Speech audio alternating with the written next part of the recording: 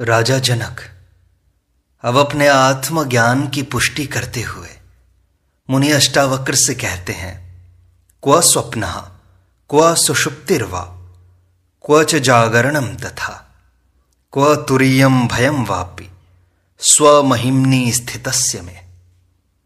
अपनी महिमा में स्थित हुए, मुझको कहाँ स्वप्न, कहाँ सुषुप्ति और कहाँ जागृत है? और कहाँ तुरीय अवस्था का भय है। ऐसा ज्ञानी, जागृत, स्वप्न, सुषुप्ति एवं तुरीय चारों अवस्थाओं से पार हो जाता है। ये चारों अवस्थाएँ शरीर, मन एवं बुद्धि की ही हैं। तुरीय अवस्था भी अंतकरण की है। चेतना इनसे पार की अवस्था है।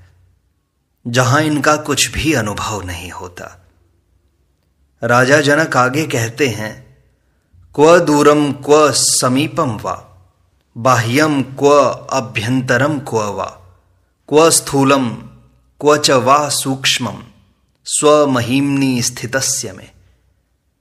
अपनी महिमा में स्थित हुए मुझको, कहाँ दूर है, कहाँ समीप, कहाँ बाह्य है कहाँ आभ्यंतर है?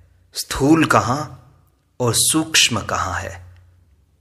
आत्मा की महिमा में स्थित हुए ज्ञानी के लिए दूर तथा समीप, बाह्य तथा आभ्यंतर, स्थूल तथा सूक्ष्म का भेद ही समाप्त हो जाता है। क्योंकि आत्मा दूर भी है, एवं समीप भी, वह बाहर भी है, भीतर भी, स्थूल भी है सूक्ष्म भी। ऐसी ही सृष्टि है। जो पिंड में है, वही ब्रह्मांड में है। सूक्ष्म ही स्थूल का कारण है। स्थूल भी सूक्ष्म में परिवर्तित हो जाता है। ऊर्जा और पदार्थ भिन्न नहीं है। एक दूसरे में रूपांतरण हो जाता है। वैज्ञानिक जिसे क्वांटा कहते हैं, वैसा ही आत्मा का स्वरूप है। न स्थूल, न सूक्ष्म। न पदार्थ है, न तरंग, और न ही दोनों। राजा जनक आगे कहते हैं, क्व मृत्युर्जीवित व क्व लोका क्वास्य क्व लौकिकम, क्व लय क्व समाधिर्वा स्वमहिमनी स्थितस्य में। अपनी महिमा में स्थित हुए मुझको कहाँ मृत्यु है, अथवा कहाँ जीवन, कहाँ लोक है, कहाँ इसका लौकिक व्यवहार? कहाँ लय है और कहाँ समाधि। आत्मा का न जन्म होता है, ना ही मृत्यु। वह तो सदा है। जिसका जन्म है, उसी की मृत्यु है। यदि जन्म न हो तो मृत्यु भी नहीं है। आत्मज्ञानी आत्मवत हो जाने से कहता है कि न मेरी मृत्यु है, न ही जीवन। मृत्यु और जीवन शरीर का ही होता है। आत्मा तो अमर है। आत्मा के लिए लोक तथा लौकिक व्यवहार भी नहीं है। इनका भी संबंध शरीर से है। लय और समाधि भी मन की है। आत्मा एक ही है। उसका न किसी में लय होता है, न उसकी समाधि लगती है। ये सब अज्ञान जनित धारणाएँ ही छूट सकती हैं। जनक आगे कहते हैं, अलम त्रिवर्ग कथया, योगस्य कथयाप्यलम। अलम विज्ञान कथया विश्रांत ममात्मनि। अपनी आत्मा में विश्रांत हुए मुझको त्रिवर्ग की कथा का क्या तात्पर्य है? योग की कथा भी पर्याप्त है, विज्ञान की कथा भी पर्याप्त है। जो ज्ञानी पूर्णता को प्राप्त हो गया, उसके लिए धर्म, अर्थ, काम आदि की कोई अपेक्षा नहीं रहती, क्योंकि सिद्धि प्राप्त होने पर साधन व्यर्थ हो जाते हैं। इसी प्रकार योग और विज्ञान की भी आवश्यकता नहीं है। जब कुछ पाना ही शेष नहीं रहा तो इनका प्रयोजन ही समाप्त हो गया। सब छूटकर एक आत्मा में स्थित होकर योगी सब कुछ पा लेता है। यही तो परम धर्म है। इस प्रकार अष्टावक्र गीता में उन्नीसवां प्रकरण समाप्त होता है। बीसवें प्रकरण का प्रारंभ करते हैं। राजा जनक अपनी जीवन मुक्ति की दशा का वर्णन करते हैं। कहते हैं, क्व भूतानी क्व देहो वा क्वेन्द्रियाणी क्व च वा मन, क्व शून्यम क्व च नैराश्यम मत स्वरूपे निरंजने। मेरे निरंजन स्वरूप में कहाँ पंचभूत हैं? कहाँ देह है? कहाँ इंद्रियाँ हैं? अथवा कहाँ मन है? कहाँ शून्य है? और कहाँ नैराश्य है? राजा जनक अपनी जीवन मुक्ति की दशा का वर्णन करते हुए कहते हैं कि मैं आत्मा में अवस्थित हो गया। इसलिए इन सब भूत विकारों से मुक्त हो गया। मेरा यह आत्म स्वरूप निरंजन है, निर्दोष है, अद्वय है, शुद्ध है। इसमें विजातीय तत्व कोई भी नहीं है। सब संयुक्त है। भिन्नता कहीं भी दिखाई नहीं देती। अज्ञान की स्थिति में मेरी चित्त रूपी कैमरे की प्लेट पर इन सभी आकारों, संस्कारों आदि के चित्र बनते थे। किंतु यह आत्मा दर्पण की भांति है। इस पर चित्र बनते ही नहीं। यह साक्षी मात्र है, दृष्टा मात्र है। इसमें विकार पैदा नहीं होते, धारणा नहीं बनती, विचार उत्पन्न नहीं होते। यह हमेशा निर्लिप्त बना रहता है। मैं चित्त नहीं, आत्मा हूँ। इसलिए मेरे स्वरूप में ये पंचभूत, देह, इंद्रियाँ, मन आदि नहीं है। इसमें शून्य भी नहीं है, न ही नैराश्य है, क्योंकि यही पूर्ण है, यही आत्मा की महिमा है। राजा जनक आगे कहते हैं, क्व शास्त्रम क्वात्म विज्ञानम क्व व निर्विषयम मन, क्व तृप्ति, क्व वितृष्णत्व गतद्वंद्वस्य में सदा। सदा द्वंद्व रहित मुझको कहाँ शास्त्र? कहाँ आत्मविज्ञान है? कहाँ विषय रहित मन है? कहाँ तृप्ति है? कहाँ तृष्णा का अभाव है? जहाँ द्वंद्व है, वहाँ मन है। चैतन्य आत्मा में द्वंद्व है ही नहीं। वहाँ स्त्री पुरुष का भेद भी नहीं है। जड़ चेतन, प्रकृति पुरुष, सगुण निर्गुण, ज्ञान विज्ञान तृष्णा तृप्ति आदि के सब भेद समाप्त होकर एक ही तत्व शेष रहता है। दो होने पर ही भेद प्रतीत होता है। इसीलिए जनक कहते हैं कि आत्मज्ञान प्राप्ति पर मैं द्वंद्व रहित हो गया। अब न मुझे शास्त्र की आवश्यकता है कि मैं उन्हें पढ़कर आत्मा कैसी है इसे जान लूँ। आत्मविज्ञान की भी मुझे आवश्यकता नहीं है। क्योंकि अध्ययन से जो जाना जाता है, वह बौद्धिक होता है। मैं तो स्वयं आत्मा हूँ। अतः अब मुझे शास्त्र एवं विज्ञान पढ़कर क्या करना है? मैं विषय रहित मन की भी बात नहीं सोचता। जैसा कि अष्टावक्र ने प्रथम सूत्र में ही कहा कि विषयों को विष के समान छोड़ दे। विषय छोड़ने पर मन जब विषय रहित हुआ तो मन की कल्पना ही कहाँ रही? इस स्थिति में तृप्ति भी नहीं है, क्योंकि तृप्ति का अनुभव भी अतृप्त को ही होता है। तृष्णा का अभाव हो गया, ऐसा भी विचार अब नहीं उठता। ऐसी स्थिति में मैं अवस्थित हो गया हूँ। जनक आगे कहते हैं, क्व विद्या, क्व च वा विद्या क्वाहम क्वेदम मम क्व वा, क्व बंध क्व च वा मोक्ष, स्वरूपस्य क्व रूपिता। स्वस्वरूप की कहाँ रूपिता है? कहाँ विद्या है और कहाँ अविद्या है? कहाँ मैं है अथवा कहाँ यह है? कहाँ मेरा है, कहाँ बंध है अथवा कहाँ मोक्ष है? आत्मज्ञानी की स्थिति अनिर्वचनीय होती है। उसे अभिव्यक्त करना कठिन है। जनक उस स्थिति का वर्णन करने का प्रयास कर रहे हैं कि आत्मा ही निज स्वरूप है। अन्य सभी स्वरूप ओढ़े हुए हैं, जो भ्रम से सत्य प्रतीत होते हैं। अतः ये माया मात्र है। इस माया का पर्दा हटने पर निजात्म स्वरूप का बोध होता है, किंतु इसकी भी रूपिता नहीं है। आत्मा का कोई रूप नहीं है जिसे देखा जा सके, जिसका वर्णन किया जा सके। आत्मा में विद्या अर्थात ज्ञान तथा अविद्या अर्थात संसार भी नहीं है। क्योंकि ये दोनों भ्रांतियाँ हैं, दोनों ही माया हैं। आत्मा में मैं अथवा यह का भेद ही नहीं है। क्योंकि अहंकार से ही मैं की प्रतीति होती है, एवं मैं होने पर ही यह का आभास होता है। आत्मा एक ही है, उसमें दूसरा कोई है ही नहीं, इसलिए यह भेद भी नहीं रहता। जहाँ मैं नहीं, वहाँ मेरा भी नहीं है। आत्मा का कोई बंध नहीं है, इसलिए मोक्ष भी नहीं है। बंध मात्र अज्ञान के कारण है। जब तक अज्ञान है, तभी तक बंध है। आत्मा स्वयं ज्ञान है, उसका कोई बंध नहीं है, न उसका मोक्ष ही है। वह तो नित्य है। बंध और मोक्ष दोनों का कारण अहंकार है। निरअहंकारी दोनों से मुक्त होता है।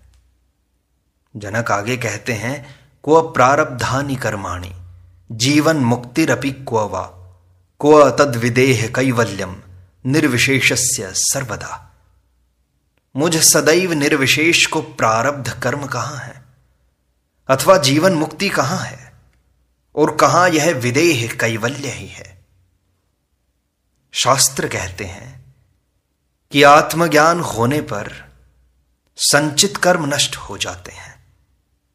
तथा क्रियमाण कर्म का फल नहीं भोगना पड़ता। क्योंकि कर्तापन न रहने से भोगतापन भी नहीं रहता।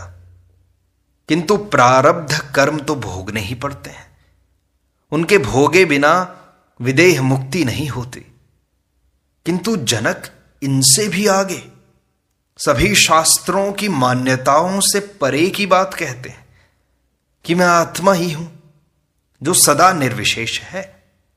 क्योंकि वह अद्वैत है, सभी विशेषताओं से परे है। कोई सामान्य है, तभी उसका विशेष होगा। आत्मा में दो है ही नहीं, इसलिए सामान्य और विशेष का भेद भी उसमें नहीं हुआ। यह भेद द्वैत के कारण ज्ञात होता है, जो अज्ञान मात्र है।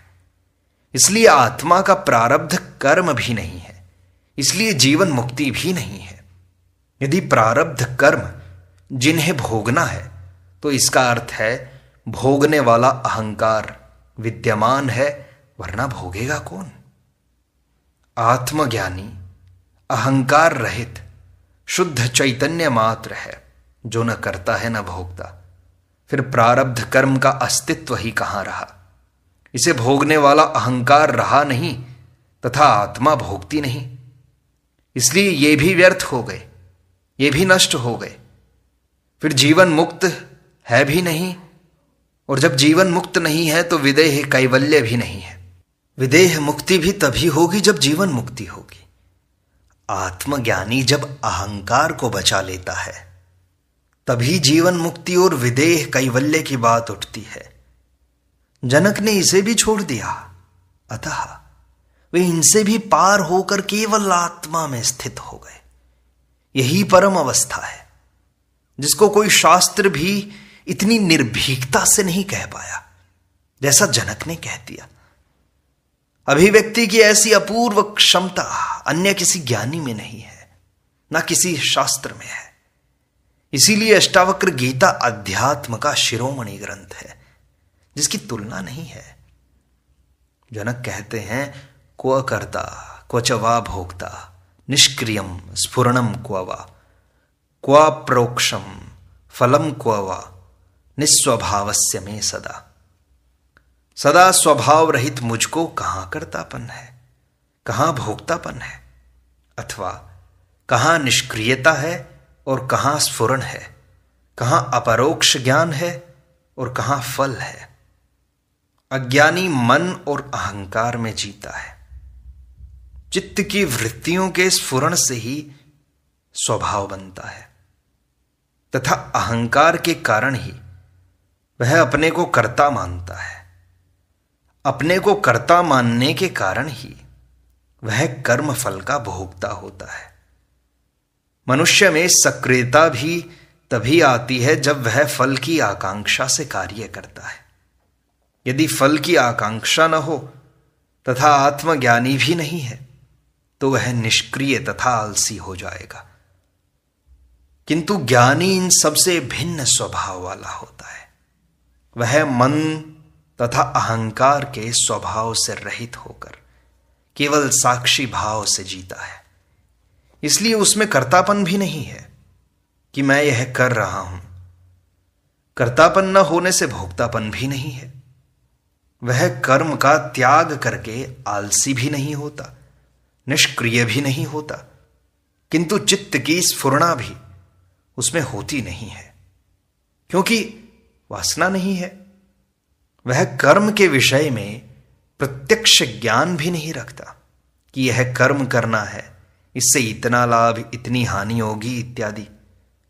मैं भाव रहने से ही प्रत्यक्ष कर्म होते हैं। वह उन्हीं का फल होता है। ज्ञानी तो दोनों से मुक्त होता है। जनक आगे कहते हैं, क्व लोक, क्व मुमुक्षुर्वा, क्व योगी ज्ञानवान क्व वा, क्व बद्ध, क्व च वा मुक्त, स्वस्वरूपे अहमद्वये। मुझ अद्वय स्वरूप को कहाँ लोक है, अथवा कहाँ मुमुक्षु है, कहाँ योगी है, कहाँ ज्ञानवान है, कहाँ बद्ध है और कहाँ मुक्त? जनक कहते हैं कि मैं आत्मा हूँ, जो अद्वय स्वरूप है। सृष्टि में दो हैं ही नहीं। आत्मा, परमात्मा, जीव, ब्रह्म, प्रकृति, पुरुष आदि का विभाजन सृष्टि में कहीं नहीं है। सभी उस एक ही आत्मा का विस्तार है। दो को तो मानना ही अज्ञान है, भ्रांति है। मैं आत्मा होने से अद्वय हूँ। मुझे अज्ञान के कारण जिन भिन्नताओं की प्रतीति हो रही थी, वह नष्ट हो गई है। अब मेरे लिए न कोई लोक है, जहाँ मैं रहूँ क्योंकि मैं ही सर्वत्र हूँ। मेरा कोई निश्चित स्थान नहीं हो सकता। न मेरी मुमुक्षा है कि मैं मोक्ष प्राप्त करूँ। क्योंकि मैं जहाँ हूँ, वहीं मोक्ष है। मोक्ष मुझसे भिन्न नहीं है। योगी मार्ग पर है, वह चल रहा है। उसे भी पाना है। वह साधक है तथा ज्ञानवान। वह जिसे ज्ञान हो गया है। किंतु मैं आत्मवत होने से स्वयं ज्ञान हूँ। ज्ञानवान नहीं हूँ, क्योंकि ज्ञानवान एवं ज्ञान भिन्न नहीं है। मैं न बद्ध हूँ, न मुक्त हूँ, क्योंकि न आत्मा का कोई बांधने वाला है, ना ही वह मुक्त होती है।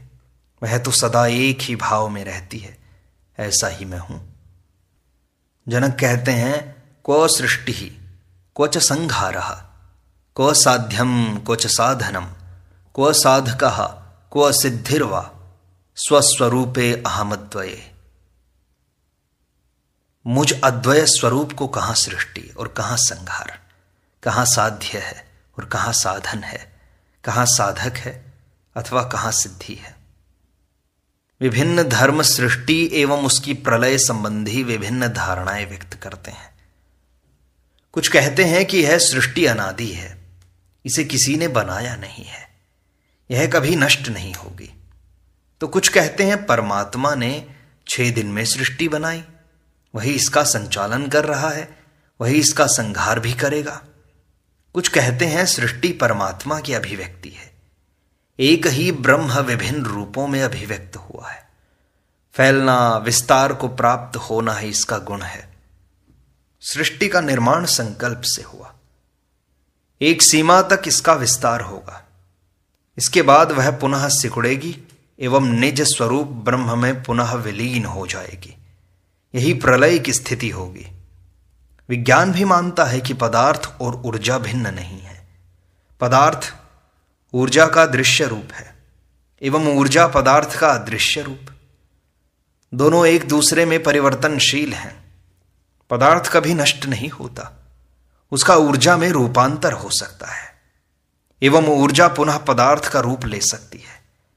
भारतीय अध्यात्म की धारणा भी पूर्ण रूपेण वैज्ञानिक है।